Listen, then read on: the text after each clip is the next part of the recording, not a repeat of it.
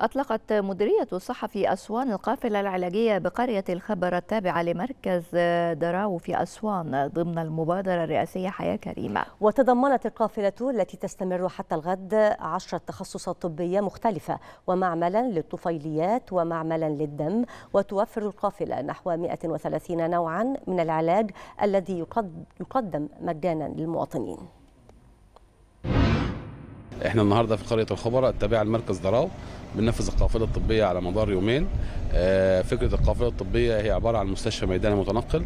بنحاول نوصل الخدمة لأهلنا وناسنا في المكان اللي هم متواجدين فيه.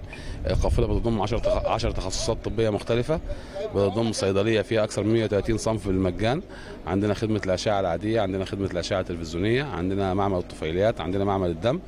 بيتوجه المواطن للحصول على الخدمة الطبية المطلوبة بيقوم بتوقيع الكشف الطبي عليه الدكتور الأخصائي أو الاستشاري في كل تخصص.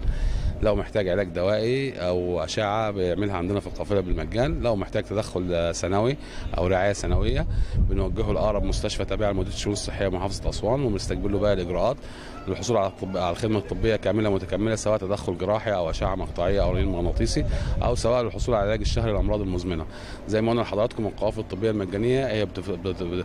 بتنظمها وزارة الصحة في ظل مبادرة السيد الرئيس حياة كريمة للوصول بالخدمة الطبية لأهلنا وناسنا في المناطق المحرومة والأكثر احتياجا